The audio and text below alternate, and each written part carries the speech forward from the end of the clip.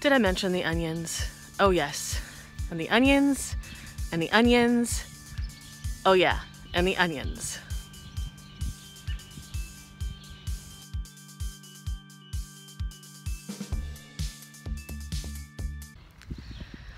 Hi, it's Amy. Welcome back to Hummingbird Hill.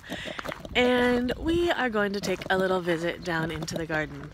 I have my hat on and as you can see it has a lovely neck protector which is only partially destroyed after Peanut the Pocket Pug got a hold of it when she was a puppy. It still works though. Um, being sort of pale, it's sunny as you can see, I need to keep as much covered as possible, which during the summer, when I prefer to be wearing tank tops, etc., is kind of annoying, but necessary due to the whole skin cancer issue. Ew. Oh, I can't see it all right now. It's super bright. I may not use this part. I realized I've been out working and getting stuff done. You can't see me so well. Let's try this way yeah, that's better. Um, I've been out working and getting things done, and I realized, wait, I don't have a video for tomorrow, which is Friday, and I'm supposed to post a video. And I also realized we haven't taken a look at the garden for more than a minute, at least the raised bed end of the garden, because it has been raining and I have been focusing on the hay bales. Today, we're gonna take a quick tour of the raised beds. One, because my phone's about to die, so it's not gonna last that long. Two, because the raised beds, there's not a lot to show right now. This is kind of one of the weirdest springs I've ever experienced in the garden. And three, there was totally a third reason why we weren't gonna spend that long, but I don't remember it. So right now, uh, yeah, let's uh, go take a look at the garden such as it is. And it's a little embarrassing, but it is what it is. So I'm gonna share, this is kind of the reality right now. It's been a really busy couple of weeks. So um, so you can see my patented chicken keeper outer is keeping the chickens out, but I'm definitely gonna need to get the hardware cloth up there, which I have, I just have not yet used it. So let me see if I can get in here without breaking myself, the camera, or the gate, or my poor chicken keeper outer. Um, I still have some plants that I have to plant my celery mostly because I have so many I didn't want them to get ripe at the same time so I'm kind of succession planting those and I'm figuring out where to put them because right now the celery that I planted first in the raised bed end of the garden is looking so good. It looks like celery now. I'm excited. I may show you that today even though we're not talking about the raised bed end just because I can. Hey it's my garden. Why not? Um all right. There's a lot of onions. Yeah, I mean, if you're here about onions, I have got onions for you. So right now, eh, there are weeds everywhere and I've been weeding. Oh, the first thing I have to tell you is my first potential serious failure of this year, something I tried that I don't think is anything's happening with.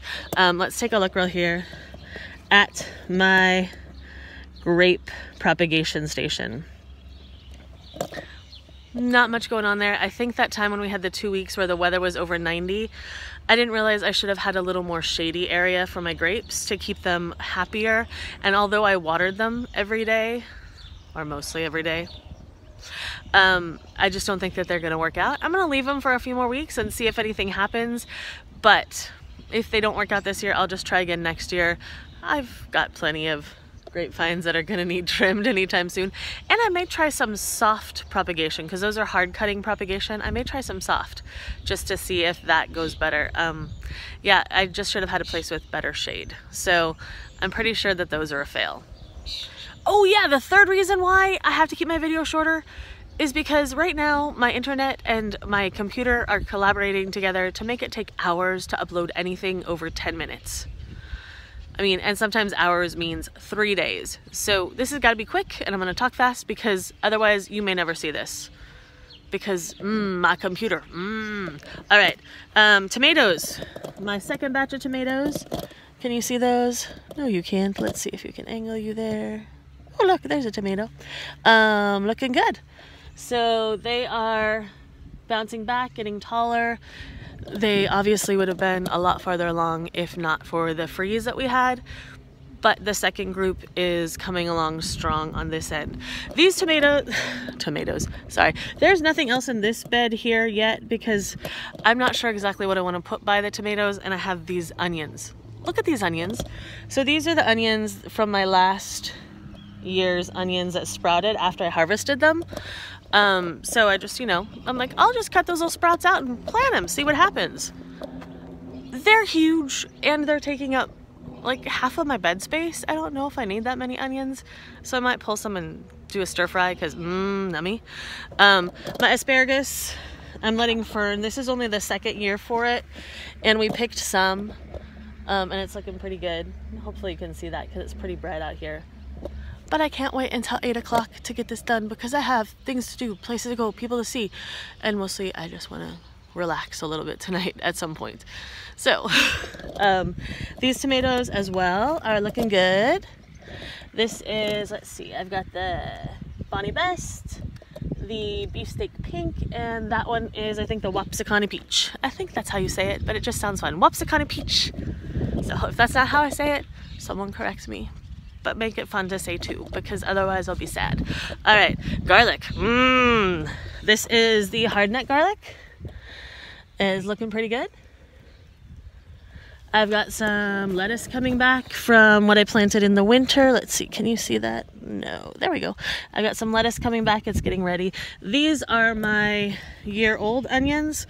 They're the ones that I planted, the second group. You saw those giant, hopefully you saw those giant ones that I pulled to put my tomatoes in. I'll send a link. Now the problem with these, I'm worried if I pull them, the roots are gonna disturb everything else in this bed.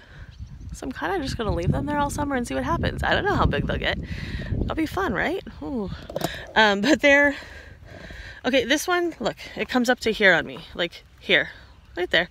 And I mean, granted, there is a, a foot raised bed under it, but still, that's awfully tall for an, onion, an onion. Ooh, I can talk. Um, oh, Brad's grape, why are you looking sad? Now you're looking all right. Um, here we go. Can you see those guys? Yeah, kind of, sort of. There we go. Tomatoes. Gonna put some more something in there.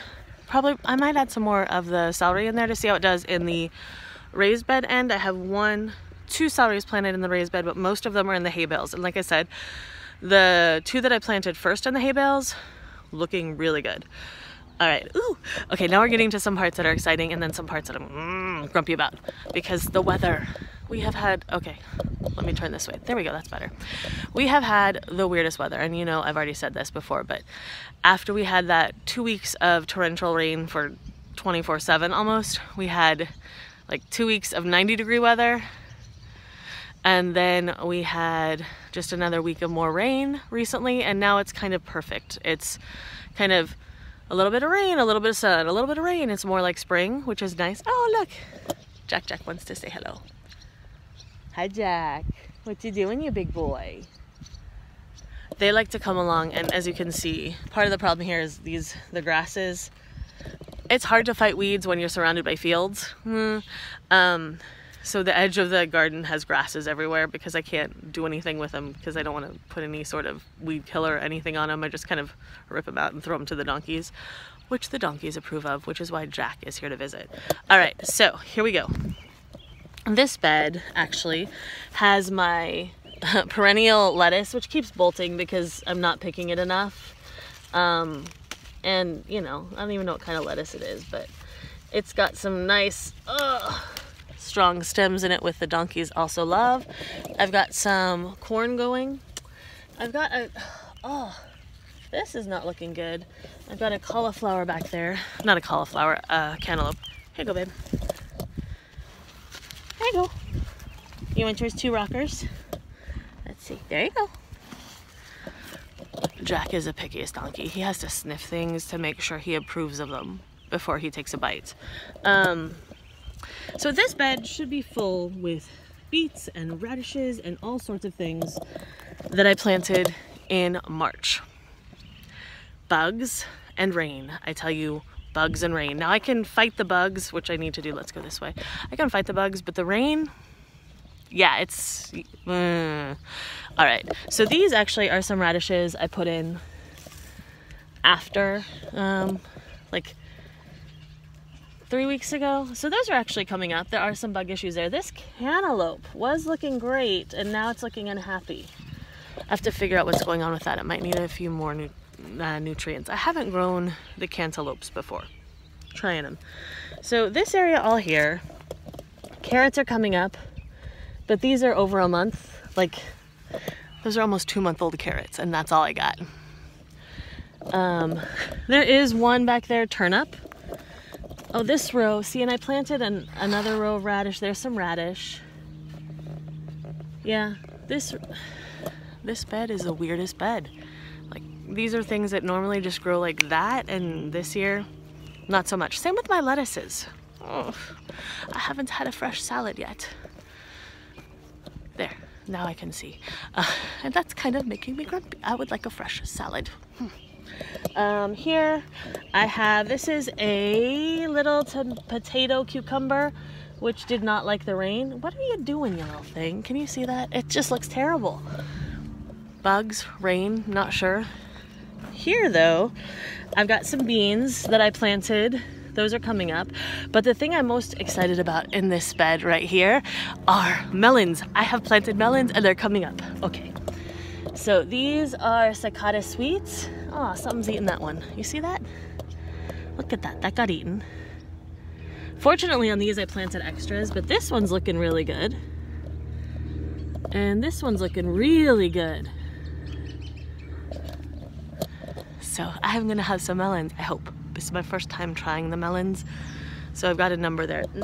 On this bed, however, the melons I planted, the Tommy apples were coming up and they were little tiny and I was so excited and I was gonna show them to you and then they're gone. So I plant, I replanted some of those. And those are, those were like, the little Tommies were created, they're from Baker Creek and they were created here in Oregon, in Eastern Oregon. That's east over there. Um, in Eastern Oregon. And so they should be okay over here. I mean, we have slightly different climates, but it's just mostly the colder in the winter in the east, and here it's just wetter in the winter. Supposed to be. Mm. So little Tommies, let's take a look here, see if we got any. Notice, again, look at this onion. Isn't it fabulous? Okay, look at, can you see that? Look at this. And it comes up to this very pretty little about to flower bud. So that's again one of the onions that I pulled from sprouts. And I don't know if I'm supposed to let them flower or not, so I'm pulling the flowers off some and not pulling the flowers off others. I've heard people say different things. So as long as I've got so many onions to play with, I'm gonna try both ways. All right. Uh, do we have a melon? Little melon, where'd you go? Nope, nothing. And I just put my new seeds in last weekend, so here. And these are supposed to be Kajari melons. And the problem is, is I think that's a weed, not a melon. But it could be a melon, so I'm leaving it. Yeah. And there are, of course, onions. Lots of onions. Lots of onions. Next time, part of the problem, again, they're all spread out in weird ways and not really organized is because I fit them in around the, I fitted them in around the plants that were here last August when this issue happened. So otherwise they'd be much more organized and I'd have a bed of onions and that would be great and everything else would be easier to plant. Not so much the case when you're kind of working as you go. Eh. Um, okay, have you seen my artichoke lately?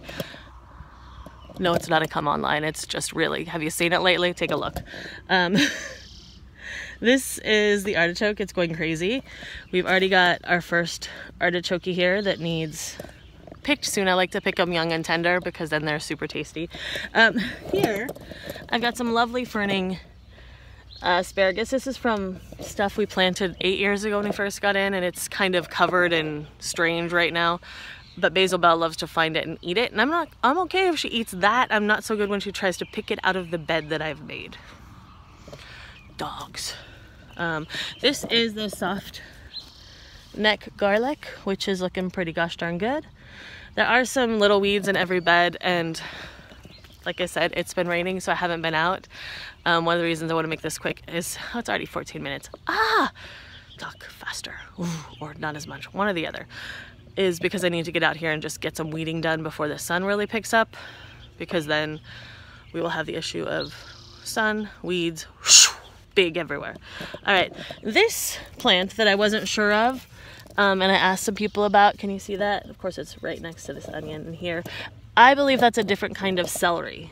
because I planted some celeries, two different kinds in the in August and none of them came up. And so these, I believe is a, are a celery. I'm just letting them grow to see what happens. Now this is a celery I moved and it's just kind of clumping up and being baby. Don't know what happens. That one's over there. Can you see that one? Yes, that one over there is looking much better. Um, those are kind of growing along. And of course there are more onions. The chives look amazing.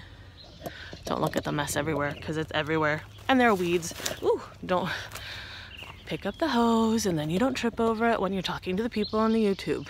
Note to self. This is my mint bucket because mint is invasive. There's a cute little frog that lives down in there, so I love the mint bucket. Um, yeah. So, oh, this is another Chinese pink. I put it in, but I put it in after everything else just so, again, I don't want all my celery getting ripe at the same time because there's no way I can eat that much celery at once. Oh, the last bed, we're here. Um, my peas are short, but growing. I need to get them wrapped around this way because they want to lean. Um, and instead of vegetables that I should have here, I have a fine, fine crop of lovely white mushrooms. This is new. Those are pretty actually. Ooh, look at that. Look at that thing. I wonder if that's good to eat. If that were good to eat, it would be so tasty stir-fried. I'm just saying. With the onions. Hmm. I'm gonna go put that in the compost. Not right this second though, because this is too long. Um, this should be all lettuce. Oh, there's some of the Merlot lettuce. There's some more lettuce. I planted this whole bed with lettuce in March. Sorry, there's a spider web thing. Oof, bugging me. Thank you. Um, in March it should be like this big and I should be eating lots of salads. I am not. I mean, I guess every year is different and that's kind of the cool thing about gardening is stuff happens. The weather changes, climates change. No, that never happens. But things just change. And so this year, I'm getting, I guess I'm getting to experience what happens when the weather is really not our normal system at all. Hmm. Um, this should be spinach, and there is some spinach coming up. This is Minutina, which I'm not sure exactly. Oh, look, there's an orach coming back up, finally. This was, again, starting to grow beautifully. Oh, look, there's some more. Oh, good, it might be coming back. Um, oh, sorry, it's okay, baby. Jack, Jack. I just stood up, baby boy. Um, you want to say hello? You want to say hello, you big baby? Oh, there we go. There we go. There's your ears.